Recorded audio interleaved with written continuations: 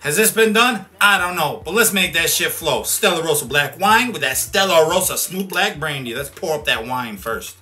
Go ahead and pour that on in. We're gonna go half and half proportion wise. Now we're gonna go ahead and add this Stella Rosa smooth black brandy. So black on black crime, baby. I wanna pour this up because it's new, so we're gonna do this without spilling it. Gonna be a strong drink, but you know what?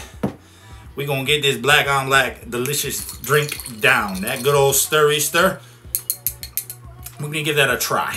Tickle Me Pink, Black on Black, Stella Rosa. Let's get it.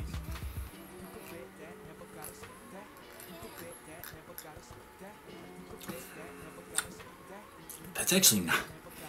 I know y'all say I like every drink I drink, but man, I like to upload bangers, and that is good. It's a sipper, but it's good. It's half and half. is good. Try it.